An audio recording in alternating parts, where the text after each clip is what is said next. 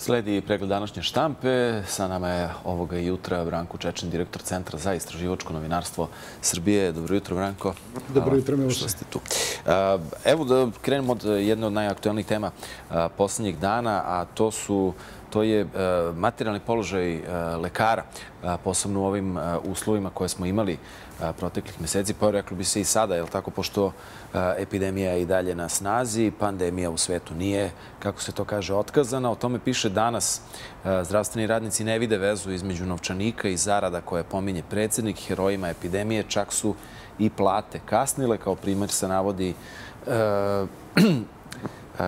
klinički centar Niš, odnosno zarade tamošnjih radnika, umesto da legnu 15. maja došle su kasnije. Prema nezvaničnim informacijama kasnilo se zato što Republički fond nije prosledio sredstva. Isto tako, pojedinim lekarima i zdravstvenim radnicima se i dalje odbija onaj solidarni porez, iako ovaj, je ukinut. Kako sad da gledamo na, na generalno odnos prema medicinskoj struci, svim ljudima koji su u tom sektoru i, i, i kakva je ovo ilustracija prosto odnosa prema njima? Pa jako je teško promeniti sistem u kojem ste imali državu koja ne vodi brigu o, o, o lekarima i o medicinskim radnicima i, i, i koje ih vrlo loše plaća i drži ih u vrlo lošim uslovima rada. To je ogroman sistem, uh, strahovito mnogo novca je potrebno da se ono drži i bilo koja izmena koju pokušate da napravite unutar njega uh, je problematična i teška i u vremena kada ima novca i kada novac pristiže u budžet. A u, ovoj, u ovoj situaciji, mislim, je ovo za očekivati. Naš centar je za vreme uh, vanrednog stanja i mera otkrio da uprkos onome što su Aleksandar Vučić i drugi zvaničnici e, e, e, najavili, da su osobe, dakle zdravstveni radnici koji su zaraženi i koji sede kod mhm. kuće na bolovanju dobijaju samo 65% plate, što je neverovatan i nepravedan absurd, nakon čega je to najavljeno da će biti ispravljeno, pa se ispostavilo da nije, ovaj, nego da je samo zakrpljena rupa za taj kratak period. Tako da mislim da devastirano zdravstvo za kojim smo mi dočekali, ne samo zdravstvo, devastirana država, praktično bez institucija sa kojom smo mi dočekali ovu epidemiju, će vrlo teško da se oporavlja u uslovima kada nema novca. Jel? Kako uopšte da... gledati na, na, na taj oporavak? Evo, imamo ovih dana, obilazi se uh, gradilišta i uh, blokovi bolnica po Srbiji u, koji, u kojima je u toku renoviranje. Imali smo i tokom uh, samog vanrednog stanja, jel tako, priču o nabavci mnogo opreme i tako dalje. Međutim, kako je neko to rekao i prethodnih dana, sve to lepo ako ispadne do kraja tako, ali šta ćemo sa ljudima? Bez ljudi koji će da, da, da ispune taj prostor, odnosno koji će da rade u tom prostoru i koji su obučeni i motivisani, zapravo nemamo ništa. Pa predizborna kampanja nije ni prestajala i veoma je cinično što nije prestajala ni u, vanrednom stanju.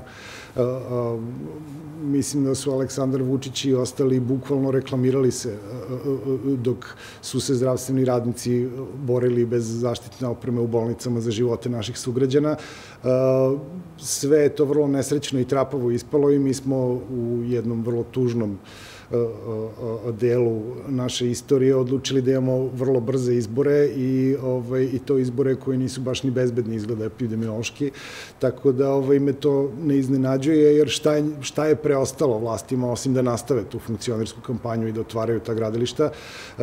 ono što je problem je u tome što je transparentnost koja ni ranije nije bila, bog zna šta, ovaj, ni pre vanrednog stanja, sada još više pala i mi jako malo toga zapravo znamo o tome kako je izgrađen taj budžet koji bi trebalo da nas izvuče iz ovoga i da, i da obnovi Srbiju. Srbija je zemlja e, e, koja sada ne može da računa na svoje naj, najvažnije e, međunarodne trgovinske partnere kao što su Nemačka i Italija, jer će oni imati padove, ovaj, Nemačka između 4 i 7% po prognozama, Italija mnogo više, ja, posebno kada se izračuna koliko će izgubiti od praktično nestanka turizma.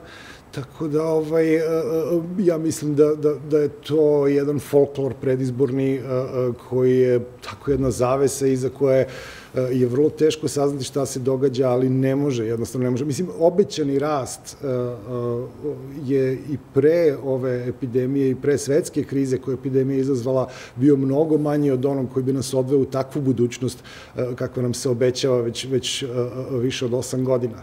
Sada je to zaista nelogično i, i, i teško da može da bude istina, nažalost. Ja bih zaista volao da se naša zemlja brzo, efikasno oporavi, skoči na noge i nastavi ovaj, e, zapravo ubrza, jer nije dovoljno se brzo kretalo u ekonomskom smislu, ali mi se čini da je to vrlo malo verovatno, nažalost.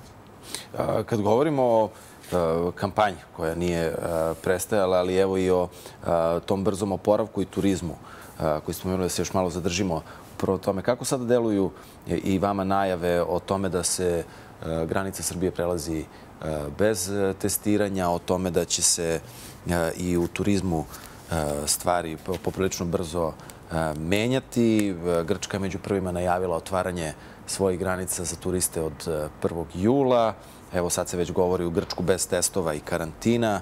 15. jun, što je praktično za koju nedelju, je takođe označen kao dan posle kog će se stvari i po tom pitanju i po pitanju okupljanja i drugih stvari menjati poprilično brzo. A, ne, teško mi je, ja nisam epidemiolog i, i, i ne mogu ja... Evo, kao građanin. Pa, kao građanin mene to plaši. Mislim da zemlje kao što je Grčka i Crna Gora, Hrvatska i tako dalje, koji imaju ogroman deo budžeta koji zavisi od turizma, jednostavno prinuđene da preduzmu neke, nešto da, da, da, da, da pokušaju da prevaziđu ekonomsku krizu. E, nisam siguran da je naša zemlja uopšte u stanju da organizuje e, nekakve testove ili merenje temperature e, na ulasku u zemlju, ali, i da, ali mislim da, da je to mera predostrožnosti koja je dosta logična s obzirom na drugi talas epidemije koji se najavljuje, ne, ne najavljuje, nego koji nam epidemiolozi garantuju. Tako da ovaj, teško je ovaj, doneti procenu o tome koliko je ovo rizična stvar, a koliko nije, ali mislim da ovaj, sve i da smo hteli da sada iznenada od negde izvučemo neku gomilu opreme i gomilu ljudi koji znaju da upotrebljavaju te, tu opremu i da oni uh, uh, kontrolišu ljude koji ulaze u našu zemlju, uh, meni je to teško i da zamislim uopšte. Pomenuli ste malo pre kako je teško zapravo stvari sagledati u sadašnjim okolnostima potpuno transparentno, odnosno videti šta sve utiče na, na, na informiranje budžeta i na okolnosti u kojima funkcioniše i zdravstveni sistem i drugi delovi našeg društva. Šta je to što je CINSU bilo predmet istraživanja u prethodnom periodu? Pa, pre svega smo se bavili koronavirusom. Bavili smo se uh, time koliko ima respiratora, napravili smo mapu ovaj, respiratora u Srbiji po, on, po podacima koje nam je dao institut Batut, bavili smo se svim u vezi sa tim, pokušali smo da vidimo šta je to kupljeno, koliko je toga kupljeno, to je sve naravno bila tajna. Bavili smo se mnogo individualnim sudbinama naših sugrađana decom sa posebnim potrebama koja nisu imala nastavu ili, ovaj, ili radnicima koji su na vrlo nepravedan i nepošten način otpuštani ili, ovaj, ili mi je ukidana zarada. I treći segment kojim smo se bavili su svakako ekonomski odnosi i posledice ekonomske po turizam i, i po drugi industrije pokušavajući da na neki način donesemo građanima što više važnih informacija koje su važne za njihove živote da mogu da donesu svoje odluke i da, da, da nešto planiraju u životu. u isto vreme... Ovaj, da li je to istraživanje bilo dodatno otežano u, u, u tokom varenog stanja, dakle u e, novim izmenjenim okolnostima? Veoma otežano. Veoma otežano zato što se organizacija kao što je moja finansiraju projektno i moraju da izvode projekte koje, sa kojima ih je epidemija zatekla. Na to smo dodali izveštavanje o koronavirusu. Naši novinari kao i mnogi novinari nezavisnih i profesionalnih medija su se pokazali u ovoj krizi i e, nisu pitali ni šta treba da se radi, ni koliko treba da se radi, nego su radili iz sve snage e, bez radnog vremena u pokušaju da informišu građane, jer je centralni izvor informisanja, a to je bio krizni štab, ne samo da je pokušao da uvede formalnu cenzuru i da nam zabrani da informišemo bilo čemu osim onoga što oni kažu, što to je naravno nama svima pokazalo šta su, kakav je odnos ove vlasti prema medijima i šta će učiniti prvi put kad im to ponovo zatreba ovaj, i posle toga su uhapsili našu koleginicu, što je stvarno besprizoran skandal. E sad, ovaj, mi smo pokušali to da prevaziđemo i, i to je bila još jedna poteškoća, jer izveštavate, a ne znate da li ćete biti kažnjeni ili nećete biti kažnjeni, bavite se svojom bezbednošću i, i svojom slobodom i svojim pravnim statusom umesto, umesto da informišete građane. Naš posao je da pronađemo problem i da ukažemo na njega i da se on ispravi kao što je bio slučaj sa zaradama zaraženih zdravstvenih radnika, a ne da se nas zbog toga hapsi. Tako da je to bila još jedna dodatna okolnost i naravno da je to bilo rizično jer su naši ljudi išli na teren na konferenciji za štampu i pokušavali da dođu do, izvor, do, do izvora informacija, tako da je to sve uzelo dosta veliki danak i, i, i sada smo na ivicama kapaciteta, svi novinari i N1, međutim, to je naš posao i to je naša dužnost i to je naša odgovornost prema građanima i njihovom interesu i mi ćemo to raditi sve dok bude potrebno. Taj interes posebno je e, značajan u ovom periodu koji nam predstoji, dakle, narednih mesec dana, kampanja je već u toku, što ona e, za izbore, što ona protiv e, izbora. Reklo bi se najburnije u demokratskoj stranci, o tome piše i današnji Blic. Lutovac smenjuje sve u DS koji nisu uz njega. Imali smo juče, dakle, i to saslušanje Aleksandre Jerkov ovaj, po prijavi. Kako, kako sad gledati, ako govorimo već o tom informisanju, ili tako, javnosti koja na osnovu tih informacija treba da donese određene svoje odluke, pa i ovu u vezi sa izborima. Kakvo, kakvo okruženje građanin ima? Šta birač zapravo čuje ako prosto odvoji neko vreme da se informiše? Pa zavisi gde se informiše. Mislim, preko 70% naših građana navode RTS i Pink kao primarni izvor informisanja i što se njih tiče, ako im je to jedini izvor informisanja, oni žive u Srbiji koja samo što nije skočila u, u, u visine ovaj, u ekonomske visine Evropske unije. U isto vreme, naravno, negativne informacije o, o, o svakom glasu koji se ne slaže sa, sa politikama vlade, a to uključuje i, i, i opoziciju, je satanizovan na, na više ili manje neposredan način.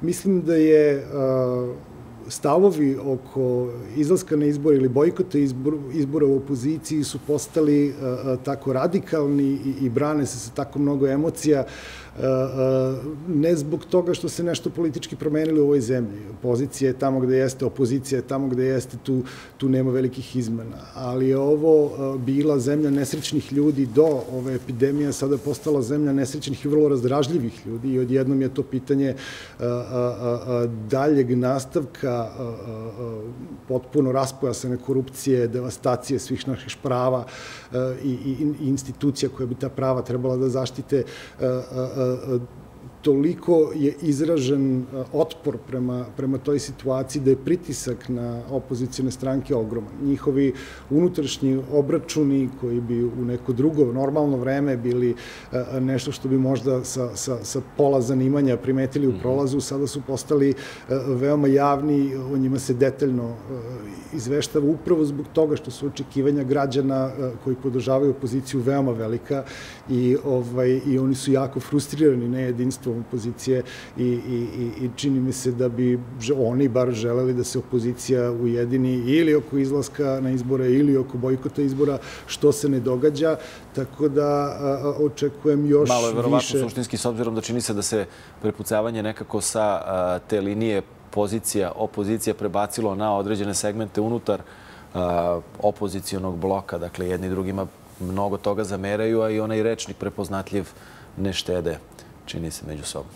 A, neverovatno je. Mi jesmo društvo koje ne uči, ali to ne bi trebalo da, da bude zakonitost za ljude koji se bave istim poslom jako dugo i ovaj, kako se zove i imaju nekakvo institucionalno pamćenje pa makar i unutar stranaka. Mi gledamo opoziciju kako prolazi sve dečije bolesti opozicije 90. godina koja, koja je trebalo jako mnogo vremena da formira značajan i, i, i efikasan otpor eh, Miloševićevoj diktaturi. Eh, iako nas je Milošević uveo u rat, sankcije, raspojaseni kriminal i razne druge eh, užase od kojih i dan danas patimo ovo je sada e, nešto što e, e, prosto čovjek pomisli ako, ako ponovo moraju da prođu sve ono, sve te sudare, padove, razumevanje toga da se bez desnice ne može oboriti koalicija sa radikalima i tako dalje, ako ne mogu da se nađu partneri međusobno i da se izvede nekakva matematika u kojoj će ok ići na izbore ili ne ići na izbore u više kolona,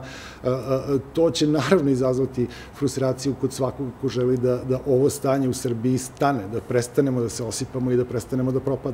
Politika na naslovnoj strani piše u opoziciji se ne pitaju zašto im narod ne veruje. Imitiranjem DOS-a bojkotaši nemaju nikakvu šansu jer niti su ovo 90. niti su oni ljudi koji nikada nisu bili na vlasti pa da građani nemaju pojma kakvi su. To je dakle objašnjenje uz tekst koji je počinjen na naslovnici politike. Mislite li da se ne pitaju? Pa mislim, šta da kažem, mislim, to je politički komentar koji je dosta plitak i čuli smo ga, pročitali i videli baš mnogo puta. mislim da, da to nije nešto o čemu bih ja razmišljao. daleko od toga da je sva opozicija sastavljena od ljudi, stranaka i pokreta koji su već bili na vlasti. to je jedna stvar, ali pokret koji, ili stranka koji nije bio na vlasti e, nije baš u nekoj prednosti, jel, daleko od toga. Tako da e, ja se ne bih bavio, fokusirao na to e, na koga napadaju provladini mediji, jel, a koga ne napadaju. Ja bih više radio na tome šta su ideje o tome šta opozicijne stranke i pokreti imaju nameru da urade ako jednog dana dođu na vlast. Možemo li da čujemo uopšte te ideje iz svega što čujemo sa te strane političkog spektra? Vrlo teško i zbog toga što je vlast svela ovaj, političku borbu na vređanje, vikanje i pitanje pljačke prethodne vlasti, kako oni tvrde, ili pljačke ove vlasti, kako opozicija tvrdi. E, e, međutim, i zbog toga sam jako zadovoljan kada bilo koja stranka ili bilo koji pokret zaista izađu sa makar i okvirnim e, namerama o tome šta bi bili, šta bi to trebalo popraviti u ovoj zemlji i kako. To se, međutim, to, to, to praktično ne dolazi do građana ni, ni, ni kroz jedan medij, zato što mi neprestano pred nama imamo egzistencijalna pitanja. Hoćemo li biti živi, hoćemo li biti zara, zaraženi, hoćemo li posla, imati poslove, hoćemo li imati, imati plate. E, u to se mešaju naravno šumovi tipa šta ćemo sa Kosovom i, i da li smo za Evropsku uniju ili ćemo da se još snažnije vežemo za Kinu, tako da ovaj, je mi smo u predpolitičkom stanju, mi smo u situaciji u kojoj e, moramo da nekako dođemo do, do bilo kakve političke strukture koja dođe na vlast i izgradi uslove za to da počnemo da razgovaramo o normalnim stvarima, o tome šta ćemo sa privredom ili, ili da li ćemo otvarati granice za turiste ili ne. E, kad pominjemo upravo e, tu jedinstvenu ideju koja, bi, koja se očekuje od opozicije, dakle bilo za, bilo protiv izbora. Evo jednih, jednog od e, komentara stiže od generala Momira Stojanovića, koji je jedan od nosilaca liste Narodnog bloka. On za list danas kaže ovi izbori se siluju, ali smo prinuđeni da na njih izađemo. Van parlamentarnim sredstvima u postojećim uslovima ne možemo postići e, ništa. I to je jedan od, jedno od pitanja koje se uvek postavlja uz e, bilo koju priču o bojkotu. Kada prođe 21. jun, šta se onda posle toga dešava sa onima koji zagovaraju bojkot? A, kao novinar zaista ne želim da se stavljam ni na stranu onih u opoziciji koji žele da učestvuju na izborima, ni onih koji, koji će ga bojkotovati. Ali je činjenica je da je ta dilema ogromna i iskreno rečeno, iako obično privatno, kao građanin imam stav, ja u ovom slučaju nisam baš siguran šta je, šta je najispravnija odluka. To iskušenje je ogromno zbog toga što mi nemamo nemamo normalne i, i fair i poštene parlamentarne izbore. Vi znate kao stranka da će vas sačekati topli zec u kojem nemate nikakvu šansu, u kojem nije ništa neobično da se a, a, ljudi prebijaju, da im se preti, da se glasovi kupuju, da se prave bugarski vozovi, fotografišu a, glasački listići, a da, da, da na medijima možete očekivati da vas na javnom servisu dočeka novinarka koja će vikati na vas i kritikovati vas umesto da vam postavi pitanje i pusti vas da radite to što radite, da, da odgovorite to što ste hteli. A, a, dakle, s druge strane, mislim, potpuno je jasno da, da, da ovaj, bojkot izbora pokušava da uskrati legitimitet tim izborima, ne bi li se došlo do izbora koji će biti, koji će biti održani u boljim uslovima, da se, na primer, iznese upravo ovo čemu smo ti ja pričali malo pre, a to su programi, mhm. izborni programi, politički, ekonomski i svi drugi. Tako da ne bih bio na mestu opozicijnih političara, iako je lako sada kritikovati opoziciju, mislim da svi građani Srbije treba, koji jel, podržavaju opoziciju, treba da se sete da je opozicija u strahovito teškom položaju, da je ovaj, finansijski praktično ne postoji i da se zasniva na nekim ko zna kakvim fondovima i da bi samo finansiranje izlaženja na izbore bilo, bilo vrlo teško. Tako da, ovaj, hajde da vidimo šta će da bude. Potpuno je meni nemoguće predvideti šta će biti posle izbora, ko će tu proći, ko neće proći, šta će biti sa situacijom da, da jedan deo opozicije nešto bojkotovao, a drugi nije, e, kolika će biti izlaznost, sve je to pod velikim znakom pitanja i mi e, živimo u zemlji u kojoj nema validnih istraživanja javnog mnjenja o svemu što bi trebalo da znamo, nema kancelarije vlade, kao na primjer u Britaniji, koja proizvodi ta istraživanja o najvažnijim pitanjima, izbacuje te rezultate neprekidno, nemamo e, nikakve informacije, ne vidimo ništa iza te zavese i vrlo je teško ne osjećati se poniženo i ne osjećati se kao podanik u ovoj zemlji, upravo zbog toga na kakve izbore neko hoće ili neće da izađe. Kad još dodatno dodamo tome i e, činjenicu da e, smo tako medijski radnici i sadržaj, to je deo sadržaja gotovo svakog izveštaja koji stiže iz Evrope, što od stručnih organizacija, što od međunarodnih e, organizacija, onda situacija, rekao bih, još dodatno siva. Tako je. Mislim, neverovatan otklon naše politike deklarativni ovaj, od Europske unije za vreme ove pandemije, reakcija Europske unije i brz povratak na priču o tome kako je Evropa naš put i jedini cilj, a, a, a, pokazuju koliko je nesiguran režim u pogledu toga šta će sutra biti, naročito u trenutku kad treba se sretnu sa, sa nekakvim rešenjem Kosova i, i situacijom u kojoj moraju da potpišu nekakav papir u vezi sa tim.